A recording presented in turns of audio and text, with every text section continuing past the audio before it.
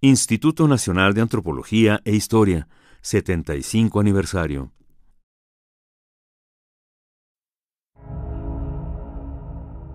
El tiempo deja su rastro también en las instituciones. Las voces del conocimiento, el debate, la experiencia.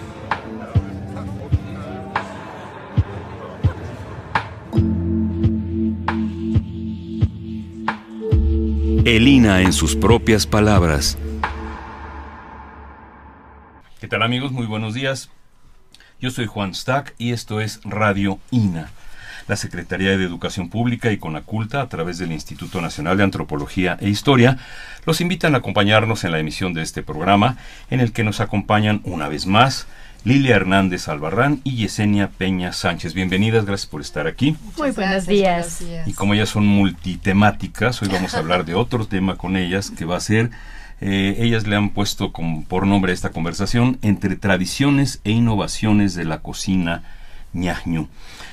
ñañu, ya vamos a ver qué es ñañu, porque si no, el público que nos escucha va a decir, ¿y qué es eso? ¿Con qué se come? Si estamos hablando de cocina.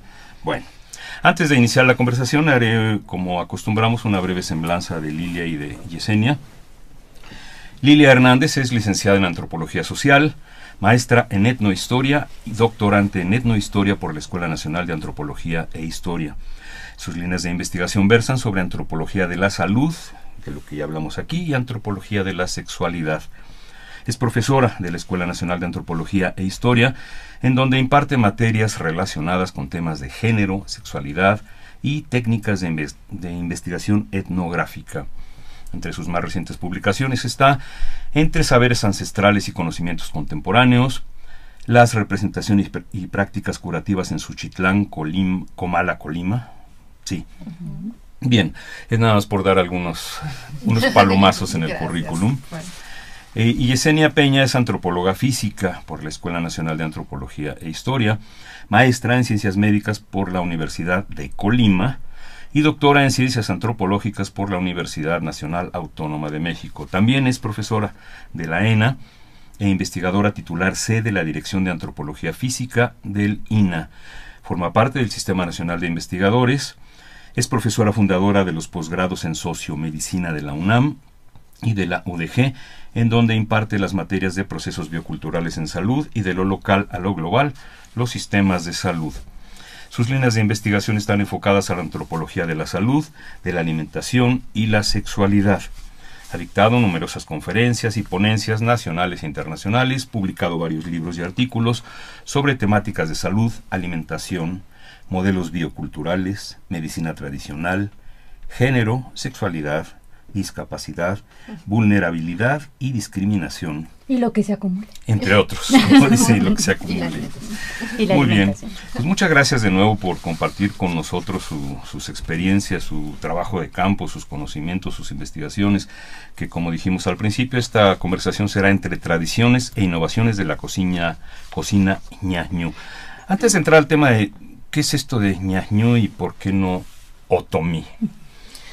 Ñañu es la forma en que se autodenominan en su lengua. Otomí es un término que eh, nahuas, los nahuas le pusieron, bueno, más bien los mexicas, perdón, los mexicas le pusieron a los ñañu.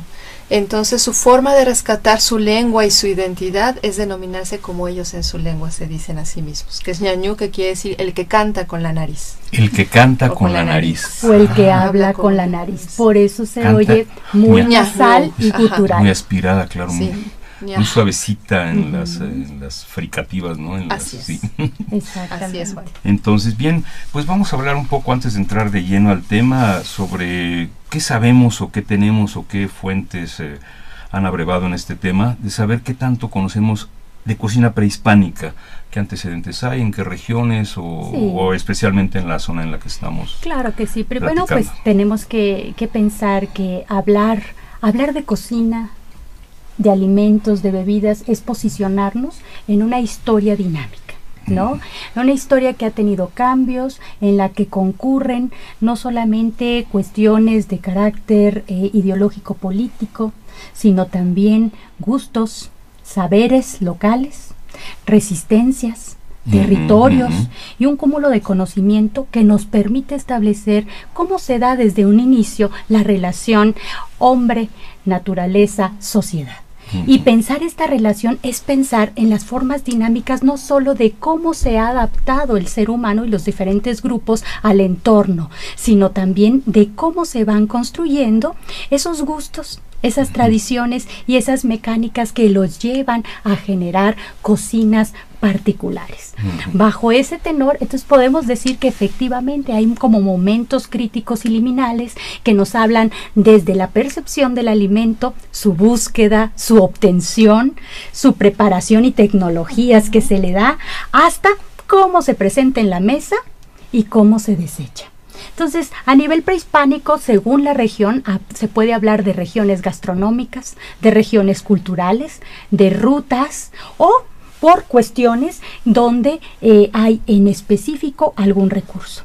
Nuestra cultura se ha caracterizado en las zonas mesoamericanas por el recurso principal del maíz de la milpa y de esto que se le llamaba la cuarteta básica de la alimentación prehispánica, que son el maíz, la calabaza, el chile y el frijol. Así es, y que se consideraba que era una alimentación como es básica, pero que se complementaba con todo un conjunto que va, iba de la mano con los ciclos de la naturaleza, los, las estaciones y las recolecciones, la caza, la pesca, etcétera. Es decir, no es que se dieran separados y una cosa lleva a la otra en ciertos momentos cuando se acaba el contenido de la milpa.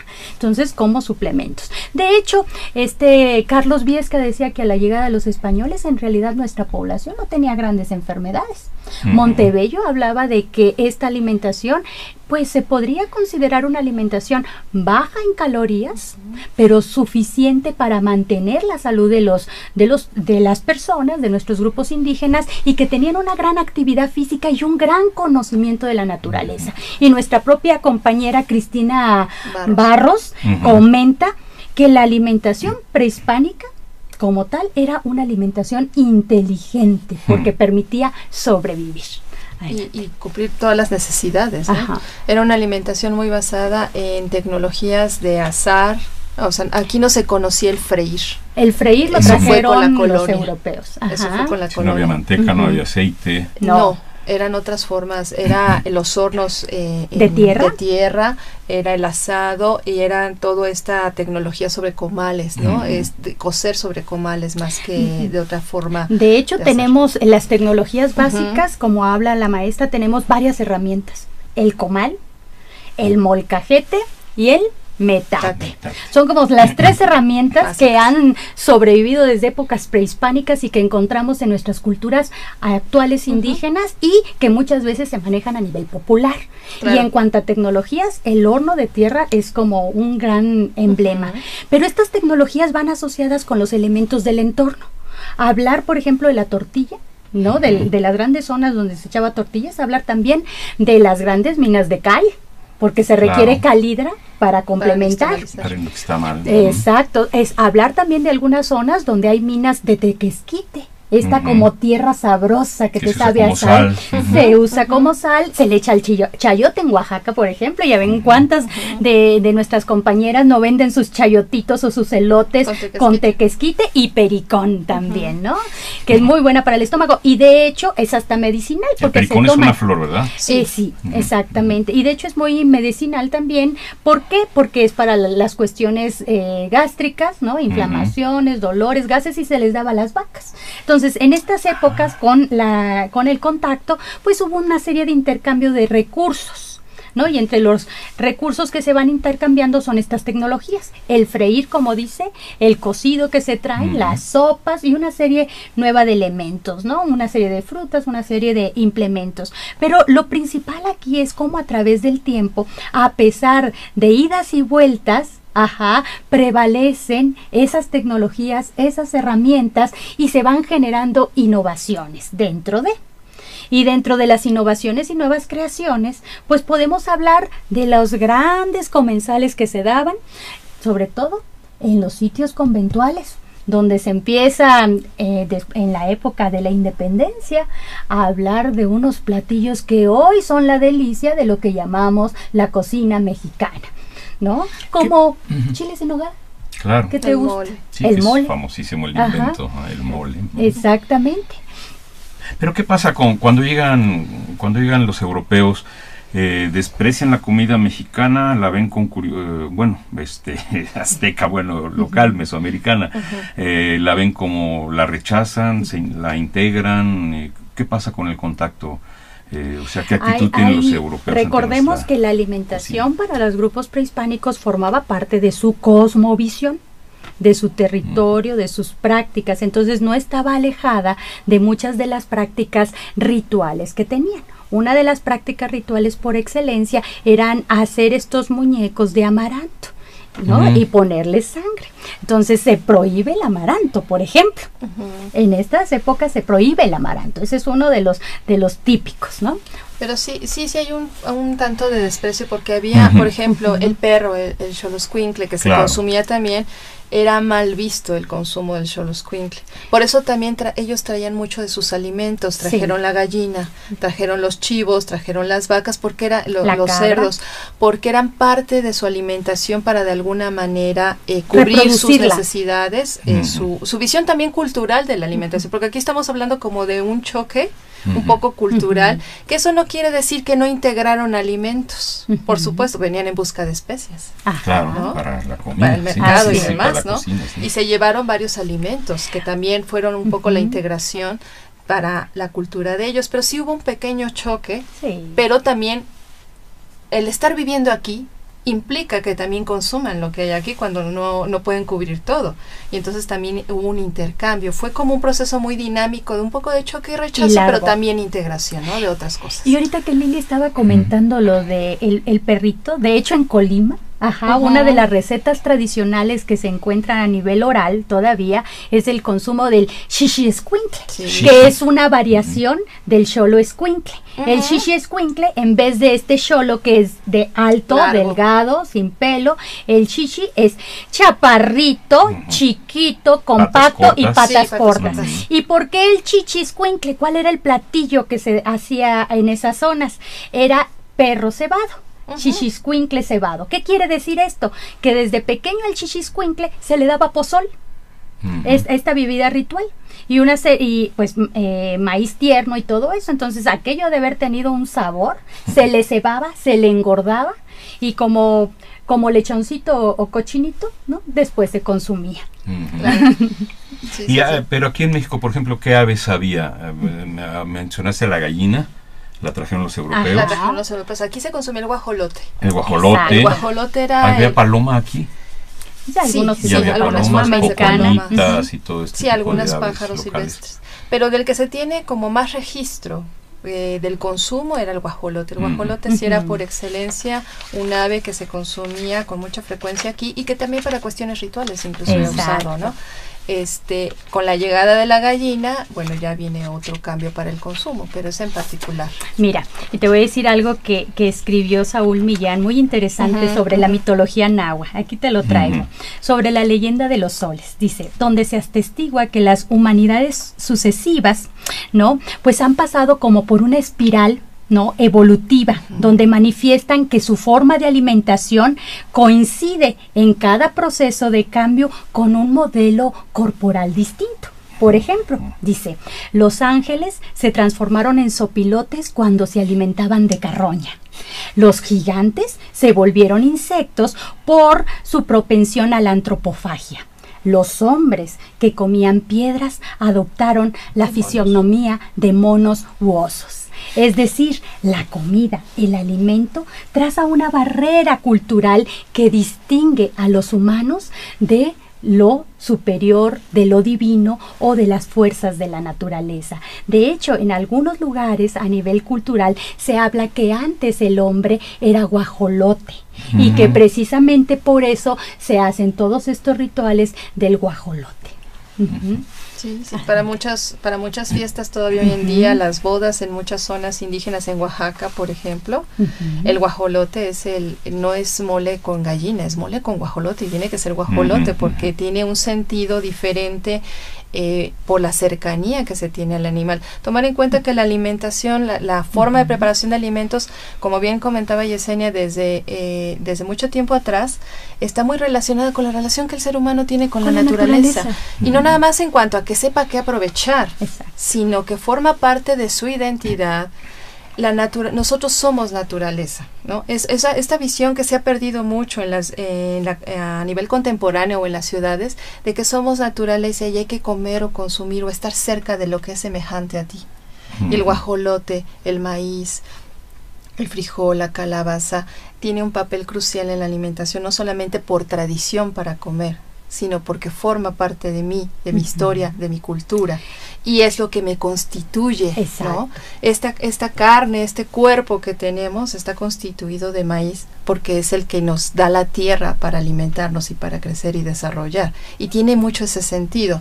Por eso cuando nos preguntamos, bueno, ¿por qué la gente no cambia el guajolote por gallina o por qué no cambia, este, no sé, un plato de sopa por una salchicha? Es porque también tiene ese sentido lo que me constituye, lo que me forma, el cariño, el amor, la relación con la naturaleza que tiene. Y sin embargo, ahora eh, a nivel global, donde ya hay una introducción muy clara de industrialización y alimentaria, y donde hay una escasez económica, una escasez de recursos y demás, sí hay una serie de intercambios donde tienen que innovar para seguir con esos platillos, pero con otros ingredientes, porque en ocasiones no alcanza. Claro.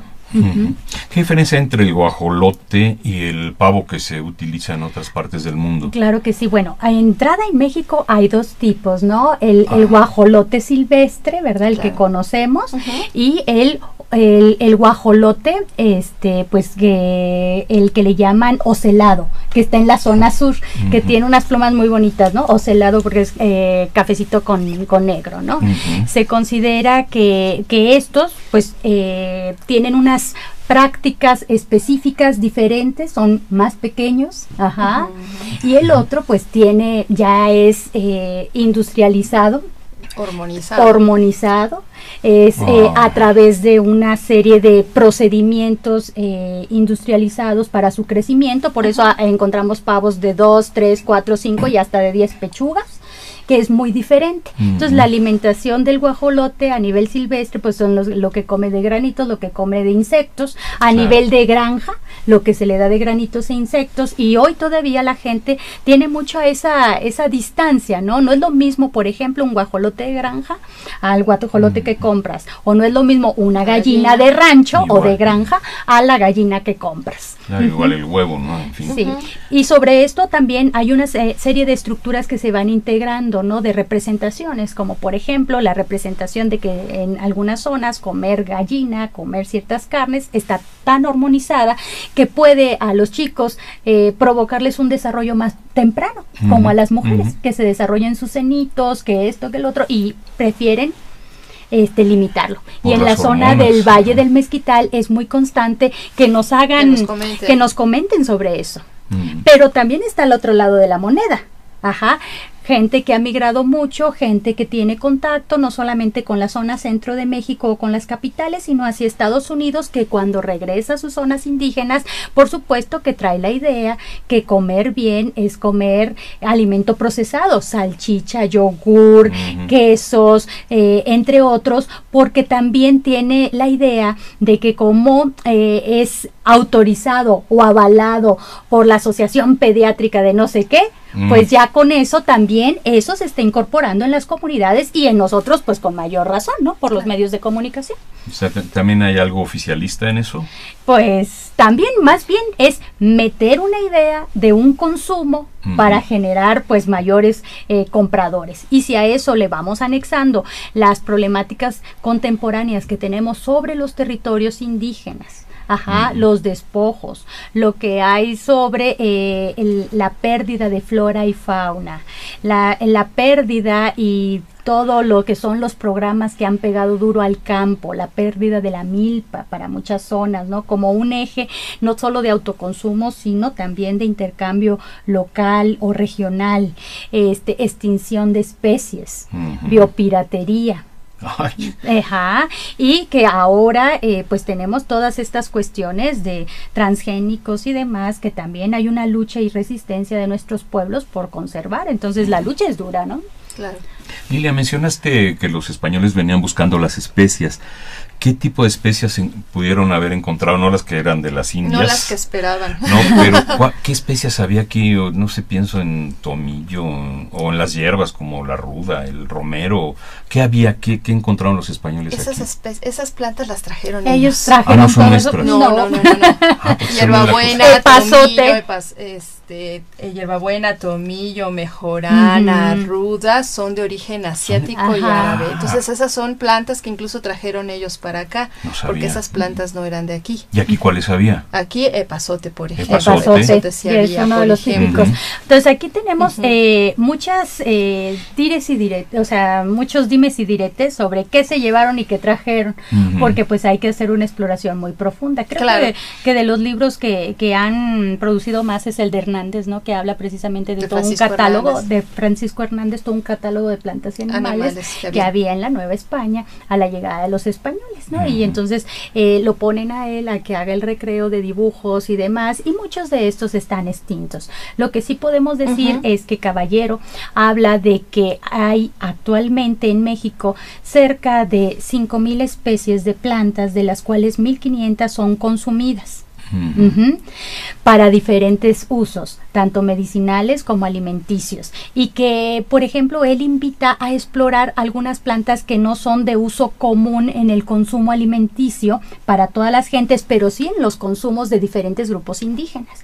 Como por ejemplo dice, pues habría que explorar por esta debacle económica el quelite, Tendríamos que explorar los diferentes tipos de quelite, de, eh, tendríamos que explorar también lo que es la malva, las acelgas, ¿no? Entre otras tantas. Quintoniles. Ajá, pues es un, tipo, todas son, formas de quelite. Ajá, son, son, grandes las variaciones. De hecho, hoy en día encontramos todo un acervo de más de 40 tipos de variaciones de quelites que hizo el Instituto Nacional de Ciencias Médicas y Nutrición Salvador Subirán. Efectivamente. ¿Y el jitomate? Mencionaron cuatro, bueno, mencionaste Lila, el bueno, maíz, frijol, chile y calabaza. El, jitomate, vino después. Ah, ese vino después. Había, había un tipo de jitomate aquí. Silvestre. Silvestre, diferente. Y pero el jitomate, el jitomate como lo conocemos hoy en día ya es, diferente, es una cruza y también eh, ya fue una cruza con, con algunas especies que trajeron. ¿Y el tomate verde? El tomate verde había, parecidos, tomatillos silvestres. Ah, tomatillos. Pero también ya, el tomate verde y el jitomate como, como lo vemos hoy en día ya son, ya son diferentes. Y de hecho, pues también ya sabemos que hay híbridos que ahorita ya polulan por todos lados. como el aguacate que el sabor y lo pruebas en el sabor. Y precisamente grupos como el ñaño, eh, grupos indígenas es lo que tienen también esa capacidad todavía de ser como catadores, ¿no? Por ejemplo, ellos pueden distinguir perfectamente cuando es un tomate híbrido de un tomate que, que producto de milpa, cuando es un maíz criollo de un maíz que no es criollo, ¿no? En el sabor y también en lo que son las semillas y en la propia planta.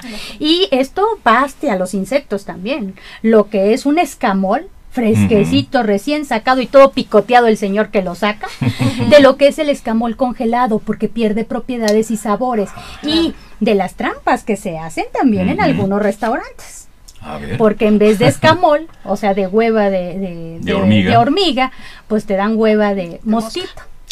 Ah, no sabía. Exactamente. Y te lo están cobrando a 500, ¿no? Entonces, ay. Pero en fin, bueno, ¿qué pasa en la época colonial o virreinal con la cocina? Entonces ya se, ya que digamos hay una aceptación de los europeos por nuestros productos y también integración de los eh, o negación o, negación. ¿Cómo se integra? ¿Cómo cambia? ¿Cómo varía la comida? ¿Cómo es la comida virreinal por ubicarla en una época?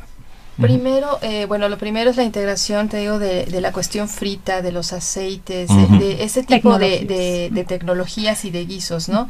Eh, y habría que ver, porque no era la misma forma de alimentación también de los, todavía de los indígenas que estaban, que había, con los españoles que llegaron eh, y los españoles que, digámoslo así, formaban un sector más popular y la de los españoles que eran, pues, toda la zona, la élite, ¿no? Eh, la alimentación en todos estos sectores era completamente diferente.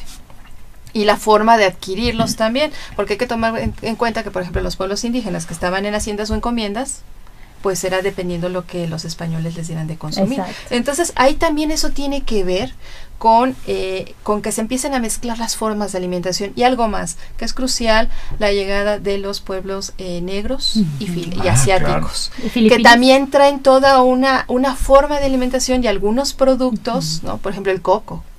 El coco entra, el coco viene con ellos, el mango, el mango de Manila viene con ellos, el tamarindo de viene con ellos, ¿no? Porque esos esos productos. ¿El coco de dónde es, perdón? El coco es, es eh, asiático, bueno, lo trajeron, filipino, pero lo trajeron. Lo trajeron los asiáticos. Y eh, también el mango y el tamarindo, por ejemplo, que hoy en día en las zonas de costa es muy consumido. Pues Colima, todo el occidente, o sea, todo eso llega. Sí, pero todo eso llega y entonces se empiezan a hacer. Ellos también tenían otras formas de cocinar, ¿no? El arroz por ejemplo, también cuando llegó.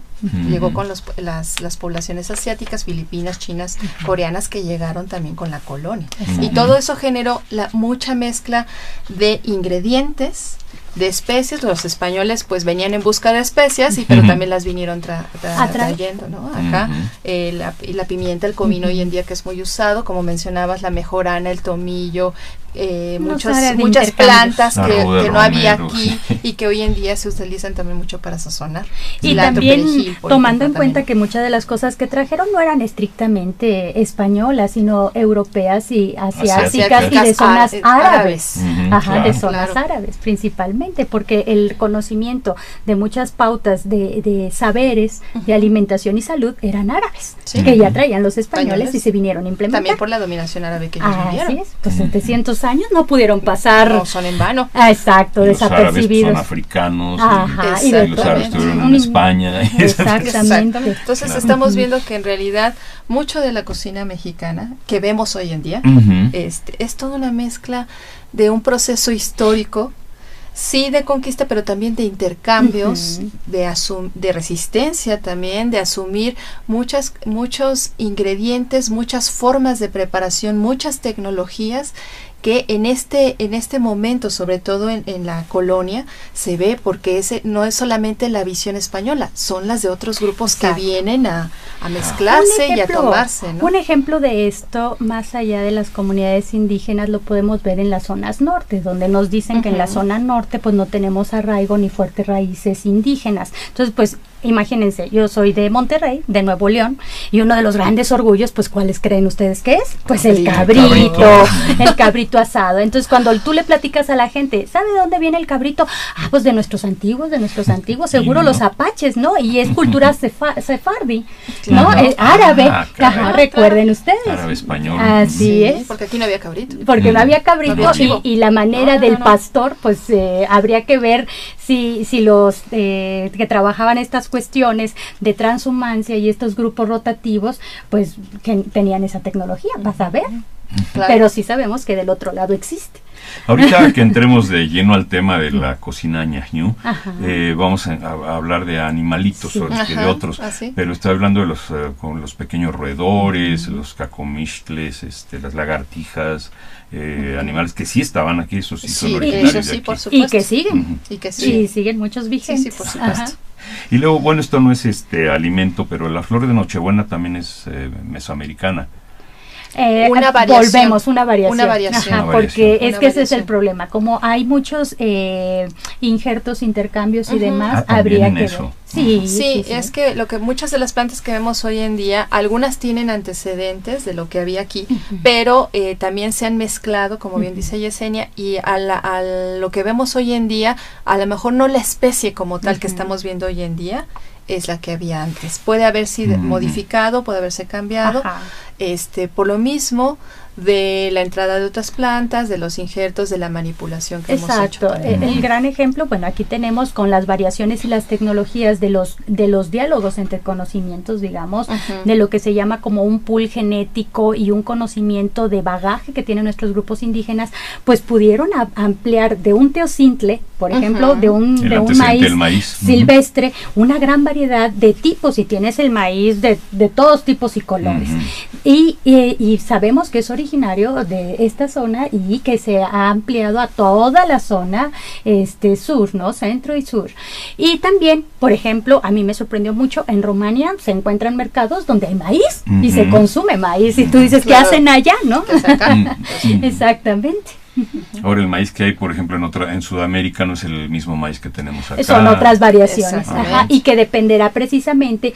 Eh, es, es en ocasiones, casi siempre cuando hablamos de tecnologías y hablamos de, de, saberes ancestrales y de saberes indígenas, pues hay una problemática, ¿no? Una problemática donde se pretende descartar eh, ese conocimiento. Para nosotros ya no solo son saberes, son conocimientos reales porque tuvieron un proceso empírico, una serie de pasos de observación y demás que le llevó a generar ese pool genético con esas variaciones de plantas y animales que los llevaron a generar también pues la crianza de animales como el guajolote, el xoloescuincle, etcétera. Entonces también eh, tenemos que, que, entender que estos conocimientos locales de alguna manera eh, se, se quieren ver desplazados, de alguna manera se quieren ver inutilizados frente pues a los grandes consorcios eh, de agrosistemas alimentarios que hoy se viven y que este es un gran problema y por eso los grupos se están reorganizando hablando de un patrimonio biocultural en la defensa de sus territorios y sus recursos naturales sobre todo para lo que es seguridad alimentaria y seguridad en salud desde lo tradicional. Bien, y recordamos a nuestros amables ciberescuchas, cibernautas, escuchas eh, auditorio. Estamos y comelones. Y comelones. Estamos hablando de entre tradiciones e innovaciones de la cocina ñañú con la maestra Lilia Hernández y la doctora Yesenia Peña.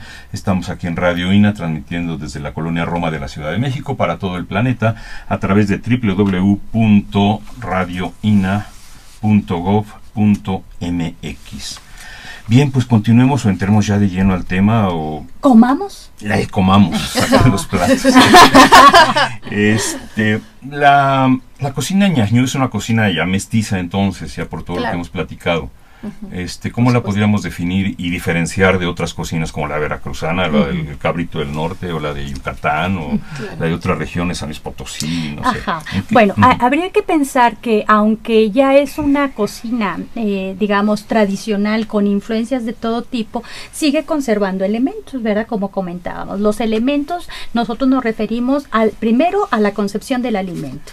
El alimento para el ñaño es, es necesario no solamente para su cuestión de constitución como, como ser, sino también le permite hacer y formar uno con la naturaleza.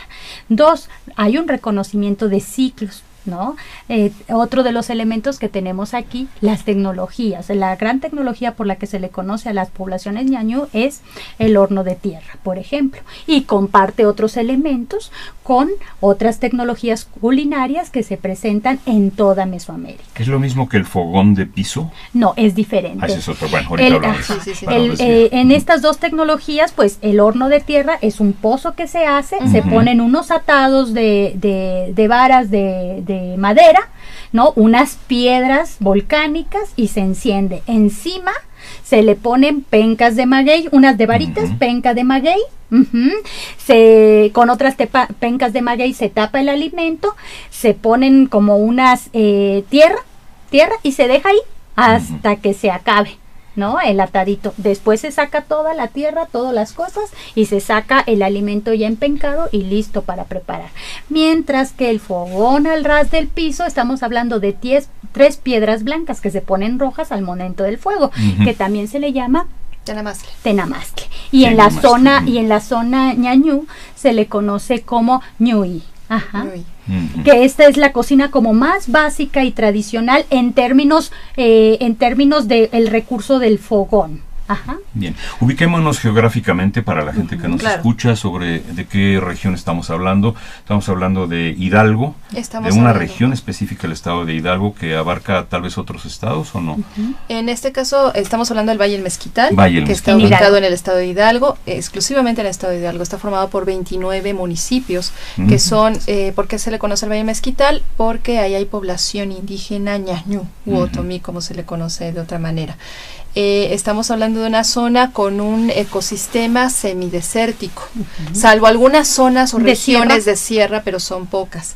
La mayoría es semidesértica. Y esa es parte eh, crucial para entender la cocina ñañú. Porque es un lugar donde aparentemente no habría que comer por la escasez de agua. Es una zona muy eh, árida, hay escasez de agua, solamente siembran, bueno, ahorita ya hay riego, ¿no? Ahorita ya hay, ya hay zonas de riego, pero originalmente era una zona donde solamente se producía por el eh, por temporal, el maíz, el frijol, la calabaza temporal, y eso este, este contexto ecológico generó estrategias en la población ñañú para poder eh, consumir el resto del año. ¿Qué, ¿Qué, se hacía si ya no había maíz o si, o si no se daba? ¿Qué tal si las lluvias escaseaban?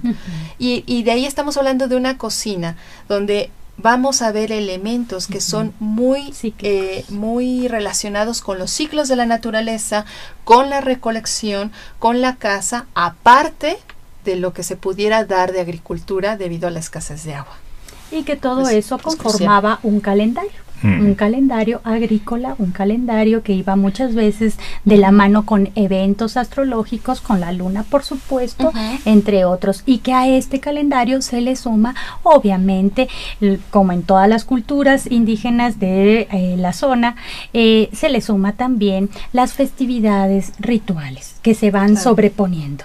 Uno de los grandes ejemplos es las eh, festividades rituales patronales, que es en este caso eh, uno de las eh, que que varía de acuerdo a la región, pero de la que vamos a platicar hoy por la reconocida Feria Gastronómica del Valle del Mezquital es Santiago de Anaya, que su patrón es Santiago, ¿no?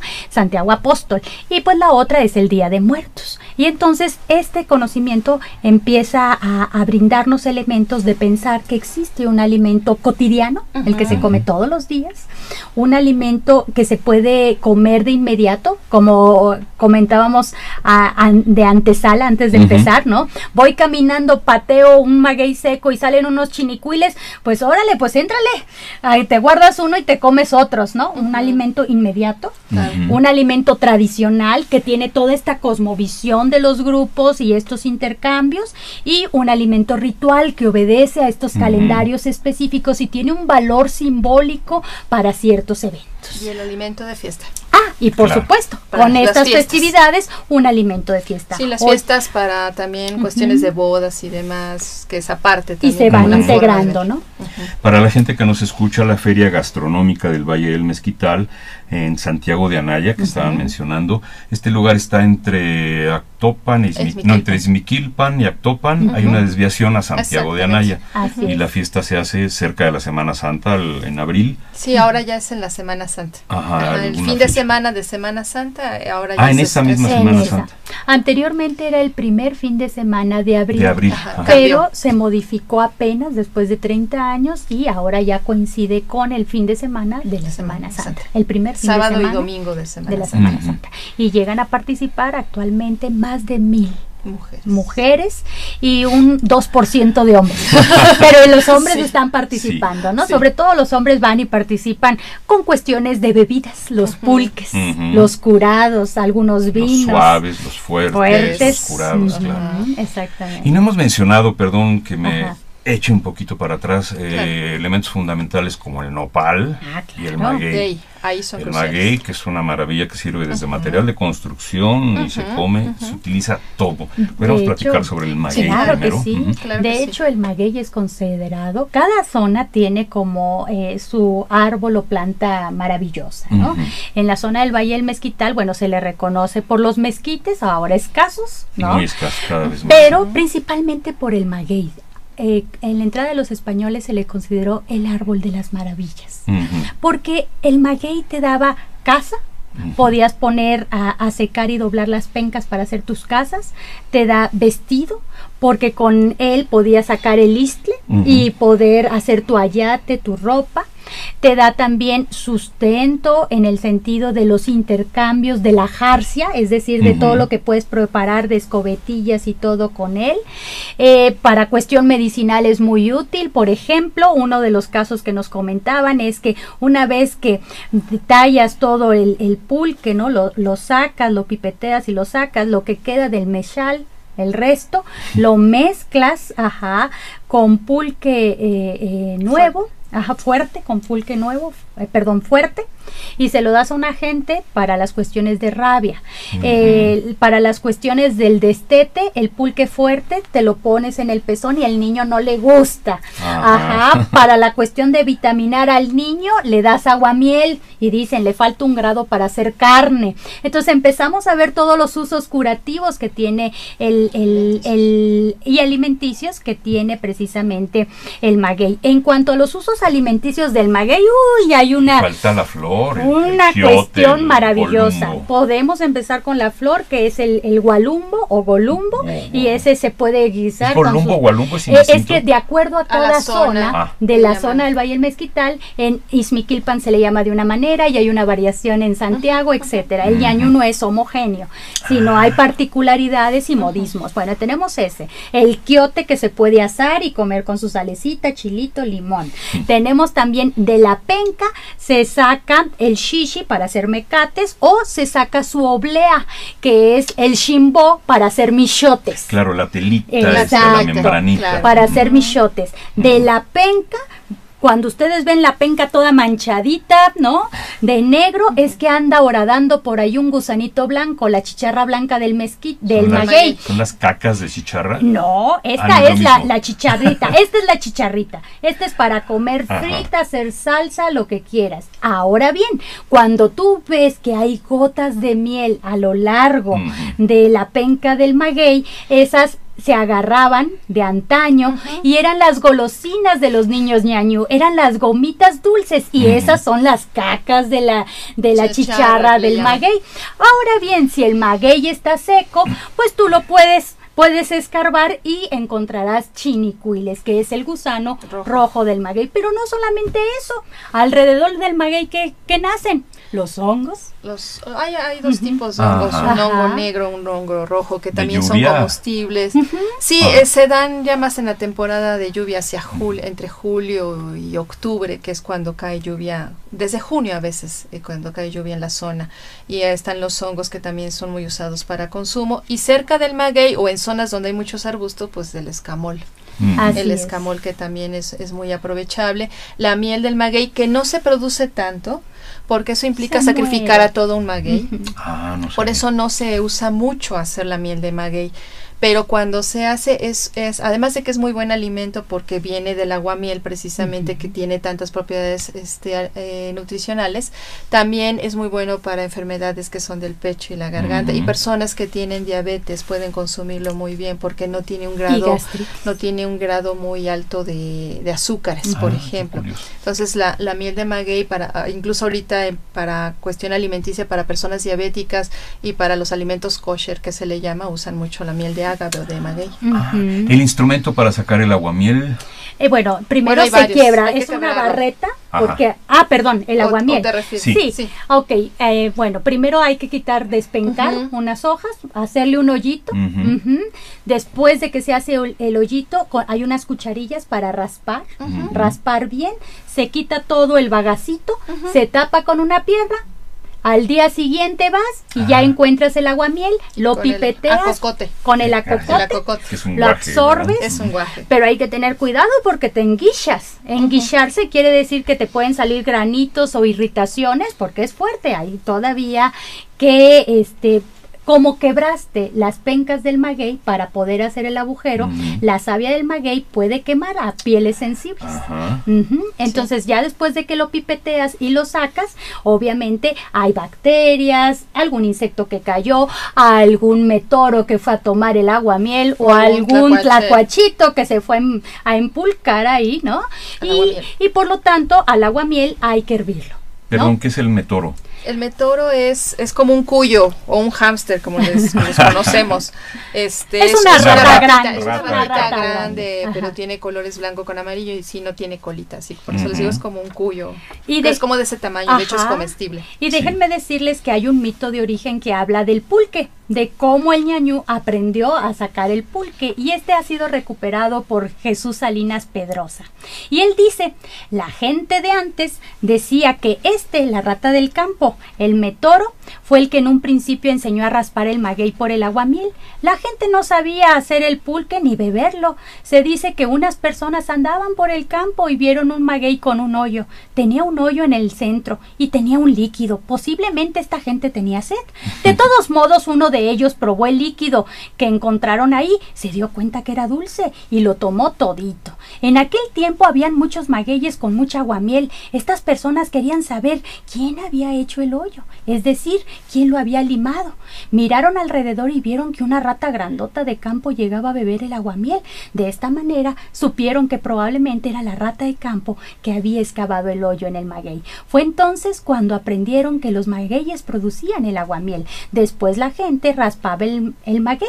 Sabían sacar el corazón del maguey y hacer el pulque, pero la gente siempre da gracias a la rata de campo porque fue la primera en raspar el maguey. Y esto nos va metiendo, muchachos, en, en esta relación que hay del animal como un eh, ente, como, como un intermediario entre la naturaleza y el hombre. ¿El metoro es el cacomixtle también? No, son Tampoco. diferentes. Son diferentes.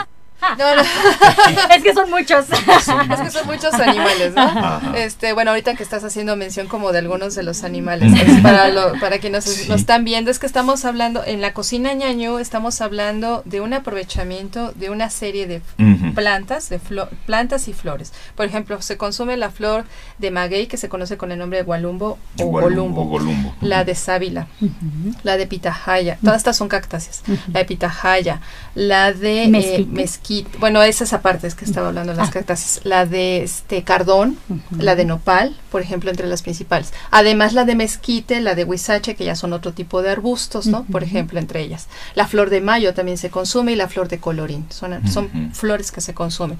Estamos hablando de también este plantas como toda la serie de quelites o quintonilas que los conocemos, que hay quelite cenizo, quelite este sec- Verde. verde, la malva, el amaranto, todas estas son la selga, la lengua de vaca, etcétera. Estamos hablando de, uno- de insectos como es el, el chinicuil, el- la chicharra, chicharra hay de maguey, de encino y de nopal. o sea, hay varias. Estamos hablando de este los caracoles, las Ah, los cochinillas. Las ejemplo. cochinillas de humedad, la de De tierra. humedad. Ah, la, de la cochinita, ajá. esa que se hace bolita Sí, cuando la la agarramos, se- esa se consume, por ejemplo. El Eh, shongwe. El shongwe, que el, el shongwe le llaman, eh, unos le dicen gusano de mezquite. Ujú. Es, es realmente una chinche. Es una chinche. Es la tantarea que se dice así Sí. en Ajá, Querétaro. exactamente, Ah. que también se consume, ese es, es muy, muy consumido. El escamol, por supuesto, Claro. que es por excelencia. Estamos hablando incluso de las larvas de avispa y de abeja que también se consumen. Y los panales también se consumen.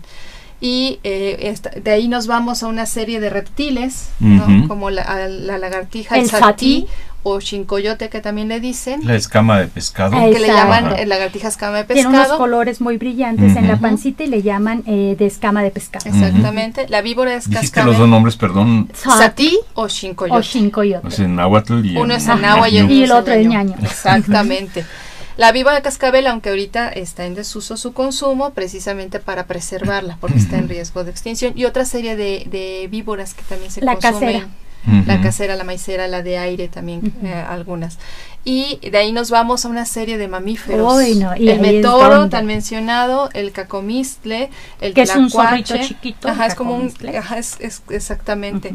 Este el tlacuache por supuesto armadillo que ya casi no se consume también para su preservación. Pero que hay que tener un, eh, en cuenta una diferencia en el armadillo. Hay dos tipos de armadillo. Ajá. Un armadillo que tiene la lengua negra bifulcada Ujú. y un armadillo que tiene la lengüita rosa sin bifulcación. Ujú. Entonces, eh, el armadillo negro tiene un vector que dicen que da lepra y el otro no. Entonces, ellos son muy cuidadosos en distinguirlo para evitar eso. Y bueno, aquello sabe a carne como tipo cerdo y Sí. lo hacen en su concha. y un sabor muy fuerte Muy fuerte. exactamente bueno el Ajá. tlacuache no es mamífero pero para ellos Es lo, un marsupial. lo Ujú. consideran como de esta serie de animales que, que se consumen este coyote que también ya casi no se usa su consumo zorra Que también y, ya el coyote, mapache. el coyote en el consumo, aparte, tiene una cuestión pues ritual y también este simbólica muy fuerte, porque pues muchos quieren el, el- dicen que el coyote, eh, su carne en el pene tiene hueso y lo quieren, quieren los tres pelos de la cola también, quieren los pelos de la ceja,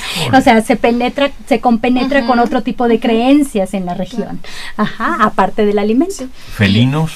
Sí. Eh, Sí, gato el gato montés. montés se montés. acostumbraba. Ahorita ya no. Ahorita venado, tampoco. Ese- no Ah, hay, había en la ahorita ya zona no. es que prácticamente no había porque como es una zona árida en la zona No. de sierra sí había un poco de venado pero no se acostumbraba mucho su consumo en realidad del venado el ardilla la ardilla La que es de ardilla, claro, tierra sí. Esta La ardilla voladora no, ajá, es la de tierra la que comen. La y que es comen. genial, en el libro ustedes van a encontrar que con la ardilla se hacen munguis, es decir, los cueritos Como blancos, como los cueritos blancos que se comen del cerdo, pero de ardilla.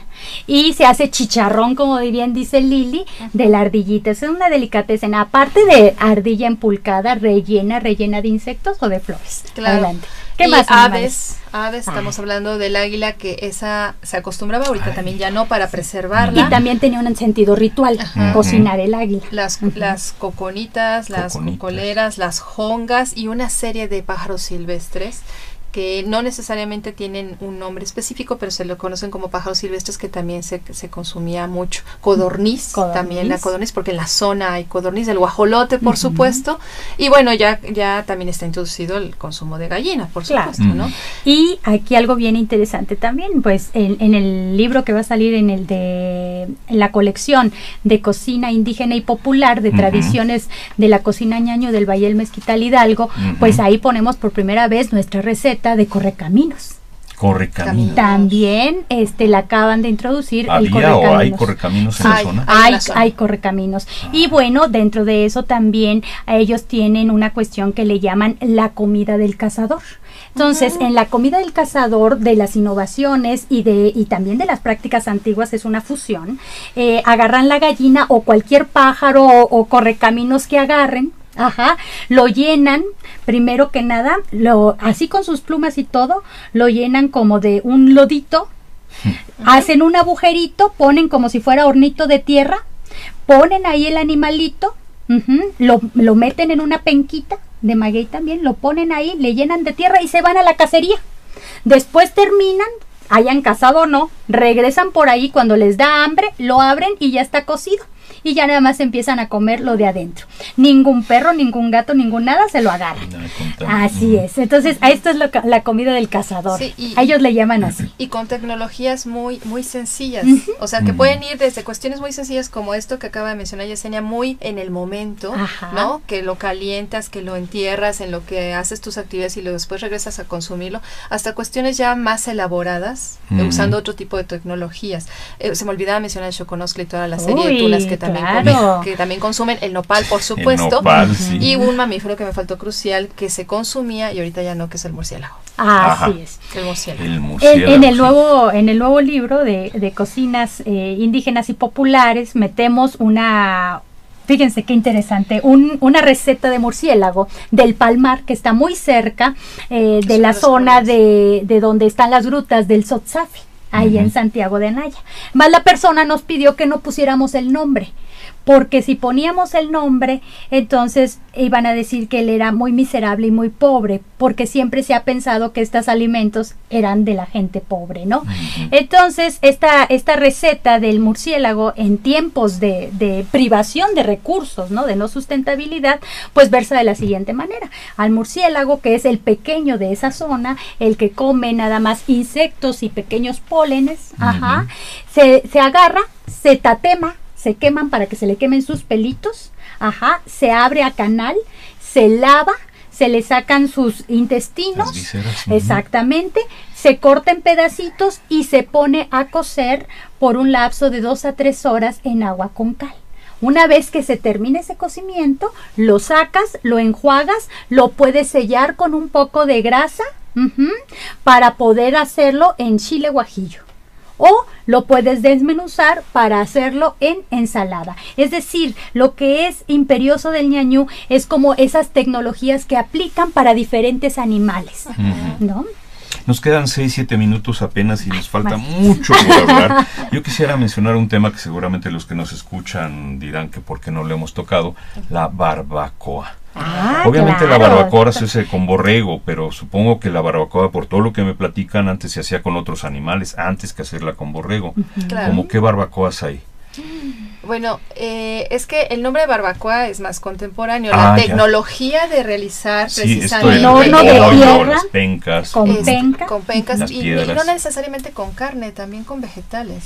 Sí, Ah. Tenemos zacatamal. Ten- eh, o sea, de eh, flores La tecnología como tal se usa para muchas cosas. Esto de horno de tierra con pencas de maguey se usa para muchas cosas. Para, tama- para el zacatamal, se usa para eh, flores, para nopales, para y, y tienen ese sabor, ese sabor característico de las pencas. Ahora bien, la barbacoa como tal, ya como la conocemos hoy en día con esta tecnología del horno de tierra, ¿Con qué carnes? La hemos visto, bueno, con chivo, con borrego, con cabra, eh, no me acuerdo también con otro. Claro. A veces con res, Con también y res, con pollo. Con pollo, con tlacuache.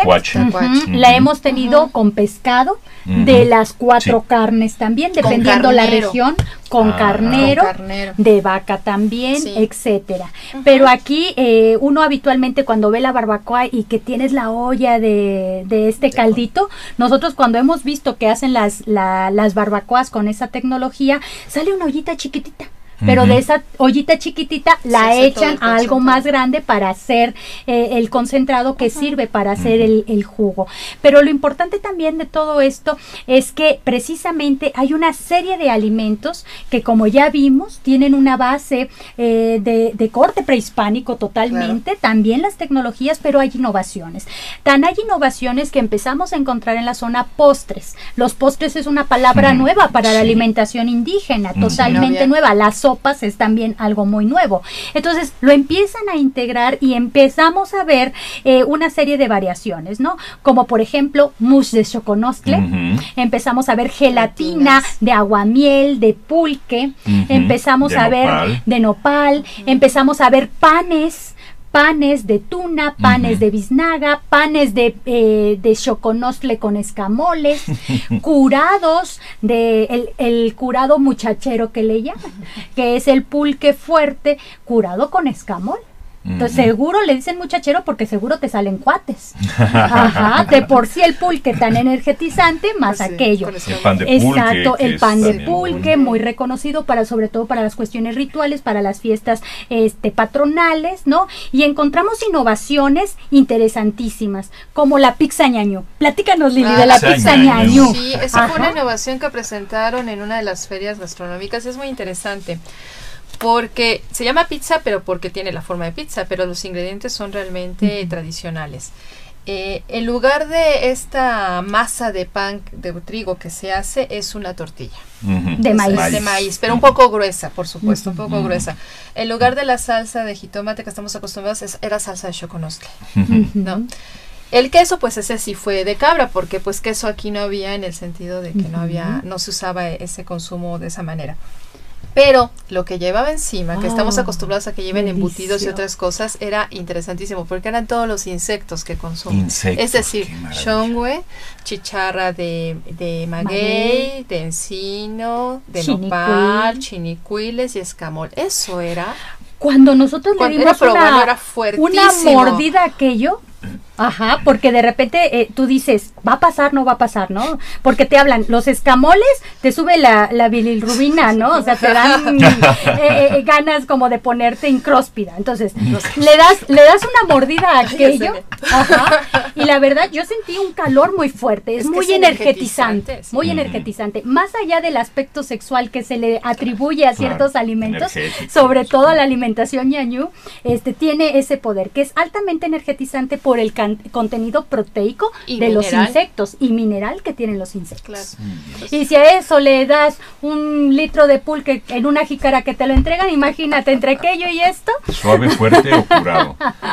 Pues, ¿Cuánto tiempo les ha llevado esta investigación? ¿Todavía están investigando o ya lo concluyeron? ¿Ya no, están es, es una investigación permanente, llevamos en la zona ya casi 20 años. en 20 años. Sí. Sí. Somos comedios. Hay que anunciar los libros, por Ah, favor. claro, Lili, por Hay favor. dos libros, uno que ya había bueno, están saliendo casi al mismo tiempo, ¿no? Uno es Olores y Sabores de la Cocina Ñañú, Valle del Mezquital, Hidalgo, editado por Conaculta INA, con nuestras autoras aquí presentes. Gracias. Y el otro es dentro de aquella colección que tiene eh. Conaculta de Cocina Indígena y Popular, el número 63 de esa colección, se llama Tradiciones de la Cocina Ñañú del Valle del Mezquital. Se, se llaman muy parecidos los libros, ¿verdad? pero hay que buscarlos, hay que Claro, buscarlos. en el primero ustedes van a encontrar precisamente toda la cuestión desde lo prehispánico a lo contemporáneo de lo que ha sido la cocina ñaño, entendida en su concepto más amplio, Amplio, la claro. cocina y esta relación entre hombre, naturaleza, sociedad, más un cúmulo de 350 recetas. Ajá. Y en el segundo libro ustedes encontrarán algo interesantísimo que ya será para otro programa poderlo hablar, la patrimonialización. Lo que es la, la, la cocina como patrimonio materia, eh, inmaterial ¿no? de la cultura.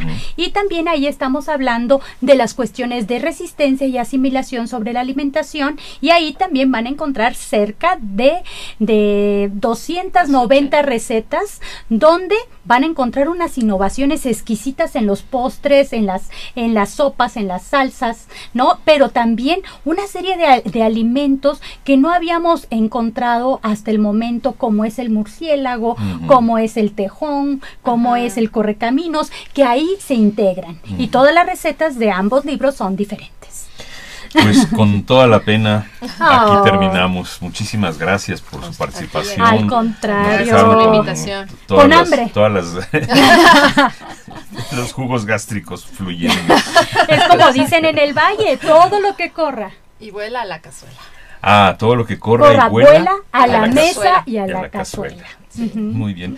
Muchas gracias Lilia Hernández y Gracias, Yesenia. Peña por esta conversación. Como siempre es un deleite de hablar con ustedes. No solo de comida, sino el deleite de la plática. Muchas Muchísimas Gracias. Gracias. gracias. Bien. Hasta pronto. Pues de esta manera nos despedimos. eh, de aquí desde la conducción un servidor Juan Stack a nombre de Radio INA. Doy por terminada esta emisión que fue posible gracias a la generosa participación, como dije ya, de Yesenia Peña y de Lilia Hernández, hablando sobre entre tradiciones e innovaciones de la cocina ñañú. Gracias también a nuestros escuchas, a quienes les sugerimos consultar más de nuestra producción a través de www.radio.ina.gov.mx. Agradecemos co- como siempre el apoyo de Pedro Francisco Sánchez Nava y Luis Alberto López Guario. Fue una realización de la Dirección de Medios de Comunicación a cargo eh, a través de la Subdirección de Radio a cargo de Gabriela Marente. Es una producción de Banibaldo Morales. En los controles técnicos Javier Cortés. Gracias y hasta la próxima.